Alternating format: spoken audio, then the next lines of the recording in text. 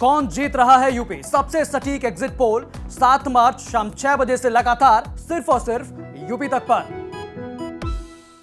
नमस्कार, आप देख रहे हैं एमपी तक। मैं हूँ आकांक्षा ठाकुर। रूस और यूक्रेन के बीच युद्ध छिड़ा हुआ है। कई भारतीय छात्र जो यूक्रेन गए थे एमबीबीएस की पढ़ाई के लिए, वो अब वापस लौट गए हैं। लेकिन सबसे बड़ा सवाल है सामने उनकी उनकी पढ़ाई को लेकर। मध्य प्रदेश के भी कई छात्र यूक्रेन गए थे एमबीबीएस की पढ़ाई के लिए, लेकिन अब वो वापस अपने देश आ गए हैं।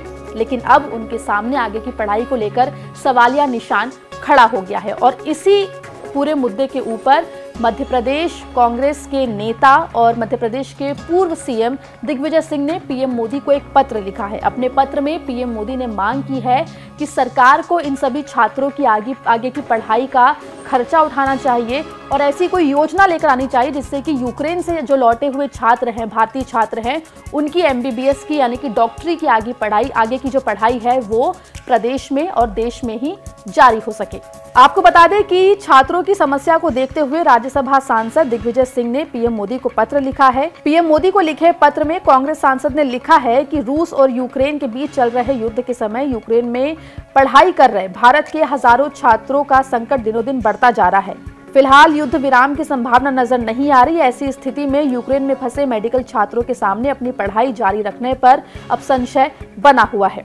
उन्होंने आगे लिखा कि यूक्रेन में मेडिकल शिक्षा लेने गए छात्र अपने भविष्य को लेकर चिंतित हैं।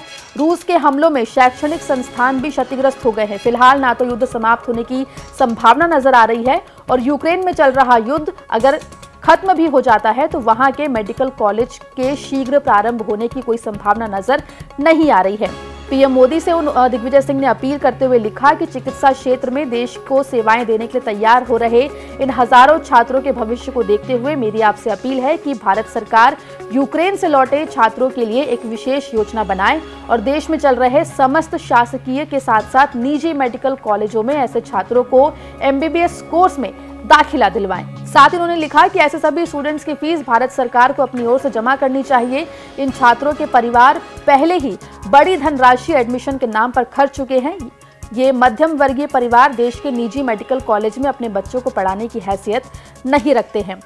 दिग्विजय सिंह ने अपने पत्र में आगे लिखा है कि मेरा आपसे निवेदन है कि भारत सरकार यूक्रेन में पढ़ रहे छात्रों की आशंका को दूर करते हुए जनहित में नियमों को शिथिल कर यूक्रेन से वापस स्वदेशी मेडिकल स्टूडेंट प्रवेश योजना बनाए, साथ ही एक अभियान चलाकर सभी छात्रों को उनकी सुविधा अनुसार एडमिशन भी दिलाए। आपको बता दें कि भारत के लगभग बीस हज़ार छात्र यूक्रेन में एमबीबीएस की पढ़ाई कर रहे थे, जिनमें मध्य प्रदेश के 100 से अधिक छात्र वापस मध्य प्रदेश सकुशल लौट चुके हैं। अब इनके सामने अपनी आगे की पढ़ाई को लेकर बड़ा संशय बना हुआ है और ऐसे ही वक्त पर दिग्विजय सिंह ने ये पत्र जो है पीएम मोदी को लिखा है, जिससे कि इन बच्चों की जो पढ़ाई है, वो आगे जारी रह सके। इस पत्र पर क्या कुछ रिस्पॉन्स पीएम ऑफ़िस की तरफ़ से आएगा, ये तमाम अपडेट्स एमपी तक आप तक सबसे पहले पहुंचाएगा। मध्य प्रदेश से जुड़ी तमाम खबरों के लिए बने रहिए एमपी तक के साथ।